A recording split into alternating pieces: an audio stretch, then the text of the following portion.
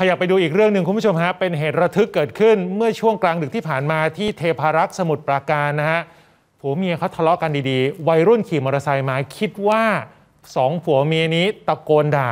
พาพวกมากราดยิงสนั่นกรุงทะเลาะกับเมียผมที่ว่าขับรถผ่านที่ว่าผมทะเลาะกับมันปาพวกมาจริงเลยแต่ลงมาถึงยิงยิงปืนใส่ห้านัด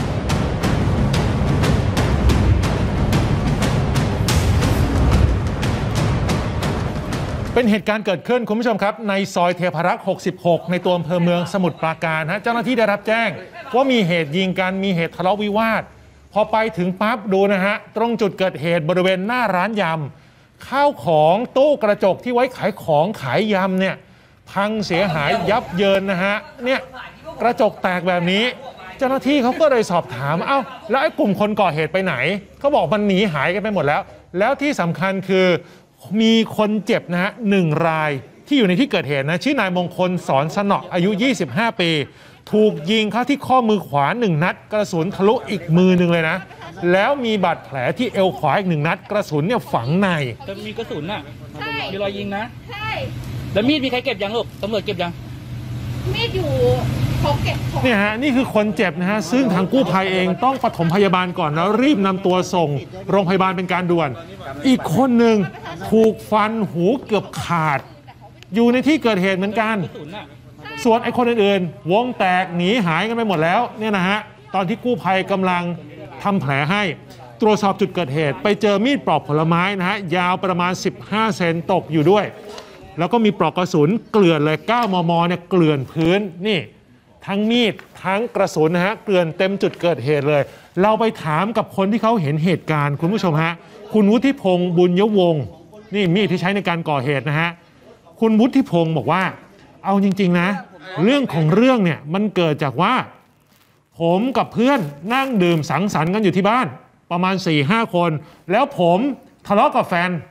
ทะเลาะกันเรื่องอะไรทะเลาะกันเรื่องแฟนเก่าของผู้หญิงเนี่ย คืออาจจะเข้ามาเกี่ยวข้องหรือเปล่า หึงหวงหรือเปล่าไม่สบายใจหรือเปล่าทะเลาะกันโต้เถียงกันเสียงดังอะยอมรับว่าเสียงดัง ตอนนั้นเนี่ยมันมีกลุ่มวัยรุ่นขี่มอเตอร์ไซค์ผ่านมาพอดี แล้วก็จอดปั๊บแล้วก็โทรตะโกนถาม พี่ด่าผมเหรอด่าทำไม พวกพวกคุณวุฒิพงศ์ก็บอกไปเฮ้ยไม่ได้ด่านี่ทะเลาะกับเมียอยู่ ผ่านไป 5 นาทีฮะไอ้แก๊งวัยรุ่นกลุ่มเนี้ที่มาจอดมอเตอร์ไซค์โทรตามเพื่อนคราวนี้มาอีกเป็น 10 คนเลย มีกระบะมาด้วยอีกคันหนึ่ง มาถึงปั๊บไม่พูดพร่ำทำเพลง ลงมาต่อยเพื่อนจนเกิดต่อสู้กันเนี่ยนะฮะชกกันนัวเนีย แล้วแป๊บหนึ่งเสียงปืนดัง 5 นัด ทุกคนนี่วิ่งหนีตายแตกกระเจิงฮะลองไปฟังเสียงคุณวุฒิพงศ์ดูฮะกับแฟนเรื่องแฟนเก่า เออเอออ่า แล้วเรื่องแฟนเก่าผมทะเลาะกันใช่ไหมเออแล้วตอนนี้เขาขับรถผ่านคิดว่าผมทะเลาะทะเลาะกับเขาอะแล้วเขายกพวกมาเลย ผมก็งงถามว่าผมทะเลาะเรื่องอะไร ผมก็บอกว่า เอ้าผมทะเลาะกับแฟนผิดเหรอ ผมไม่ได้ผิดนะ แล้วอยู่ดีคนรถยงรถจากกระบะปุ๊บกระโดดต่อยก่อนกระโดดต่อยหน้าบ้านเลยอ่า อะทุบตู้เลยตู้ทีแรก ทำอาหากินนะทุบทีแรกเรานั่งทะเลาะอยู่กับแฟนตรงหน้าบ้านถูกไหมไม่นั่นไปนั่งบ้านเลย เออเราทะเลาะกับแฟนอยู่ในตรงนี้ นี่ฮะวุฒิพงศ์ก็งงว่าผมทะเลาะกับแฟน ค่ะ เพราะแฟนน่ะไปเจอแฟนเก่า ผมก็ไม่สบายใจก็ทะเลาะกันเอาแล้วไอ้วัยรุ่นกลุ่มนี้อยู่ๆมันมาหาเรื่องหาว่าผมไปตะโกนด่าเขา อีกคนหนึ่งเราได้คุยกับอภิเชษคำอ่อนหนึ่งในคนเจ็บนะฮะเล่าเหตุการณ์ให้ฟังบอกว่า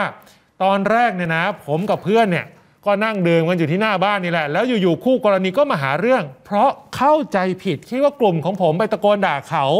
แล้วก็มาตามเพื่อนมาชกกันแบบนี้ ยิงปืนขึ้นฟ้าก่อนจากรถกระบะนั้นหนึ่งนัด แล้วสักพักหนึ่ง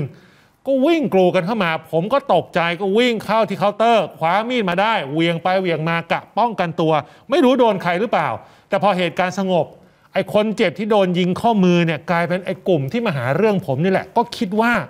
มันน่าจะยิงมั่วแล้วปรากฏกระสุนไปโดนพวกเดียวกันฮะจอดรถหาเรื่องเลยแล้วครั้นี้พออ่าผมก็เลยเดินมาถามข้างหน้าอ้าวพวกมึงอะไรอะ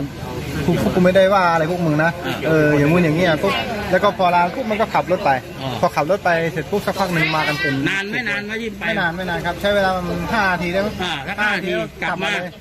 กลับมาแล้วไงต่อกลับมาเสร็จก็ว่านี่เลยมาถึงก็เอ้ยพวกมึงนี่ยังไงมีปัญหาอะไรเสร็จปุ๊บมาเยอะไหมมาเยอะไหมตอนเยนั้นอะประมาณเท่าไหร่มาเยอะก็ประมาณ ก็มอเตอร์ไซค์มอเตอร์ไซค์หลายคันแหละ แล้วก็มีกระบะมาอีกคันหนึ่งถึงสิบอ้คนไหมถึงครับ แล้วก็ไอ้กระบะนี่มีปืนด้วยเออเออแล้วไงต่ออ่าแล้วก็อันนี้พอจอดปุ๊บมันว่าพไงอพอจอดพอจอดเสร็จปุ๊บเออมึง